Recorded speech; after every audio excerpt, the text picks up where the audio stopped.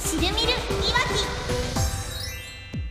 き。いわき市の旬の情報を伝える「しるみるいわき」今回のテーマはいわきグリーンベー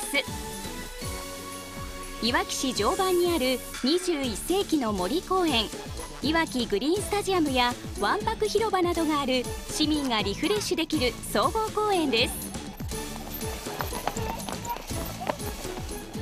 市の広域避難場所として位置づけ防災公園としての整備も行われています。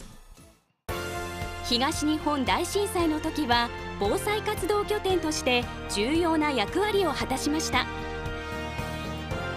この公園内に新たに屋内多目的広場いわきグリーンベースが完成。3月27日に落成式を行いました。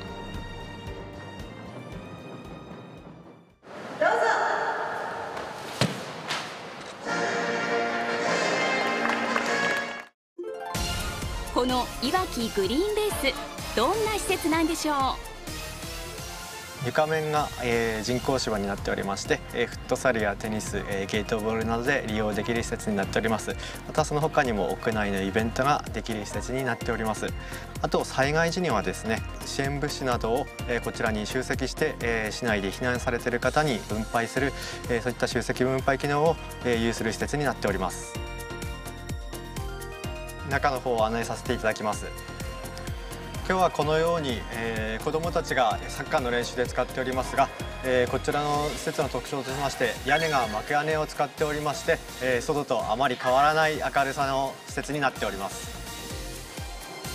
この日練習していたのは小学生と中学生のサッカーチーム。いわきグリーンベースはどうですか？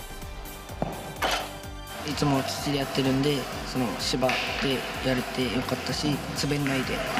できるとこがいいと思います。とてもシュートとかが打ちやすくてそのパスとかもしやすかった。雨降った時でも、えー、いつでもできるっていうのとグラウンドはどうしてもボコボコしてるんですけどこういうところは一定の、えーまあ、技術が上げる上がるためにはこういうところで練習できた方がいいのかなとは思っております大きな窓にはこんな特徴が。こちらのガラス扉についてなんですけども扉として、えー、開くようになっております。そして、えー、こちら開けることによって支援物資を運んできたトラックこちらからの荷下ろしが簡単にできるような、えー、構造になっております。南北の扉が開くことでトラックの出入りが効率的に行えます震災をした時はあんまり避難物資が体育館とかにしか来なかったけどこ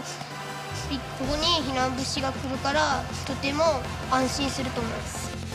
震災の時大変だったのでこういうところが普段あのあるっていうのは大切なことだと思いますしあのただ普段はこうやってサッカーもできるので非常にあのできてよかったと思ってます。いわきグリーンベースを利用する場合は専用の申し込み用紙に必要事項を記入して窓口へお持ちいただくか公共施設予約案内システムをご利用ください。